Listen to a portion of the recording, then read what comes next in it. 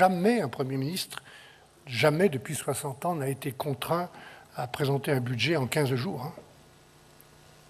Et ce que je trouve, je le dis sans polémique, euh, est extrêmement grave. Hein.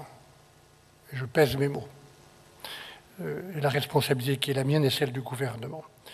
Donc, euh, je ne vais pas être en mesure de répondre à toutes les questions précises que vous avez si bien posées, Monsieur le Président.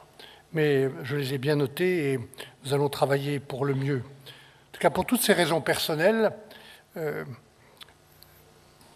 savoyarde, humaine, je suis heureux d'être ici et que ce soit avec vous que je fasse cette première visite.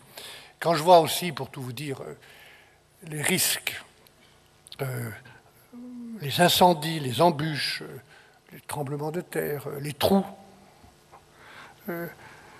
sans parler des pandémies, je pense actuellement à la pandémie animale qui touche gravement le secteur de l'agriculture un peu partout, la FCO. Quand je vois tout ça, pour tout vous dire, pour vous parler franchement, je me sens l'âme et je me sens l'âme et la volonté et l'énergie d'un sapeur-pompier.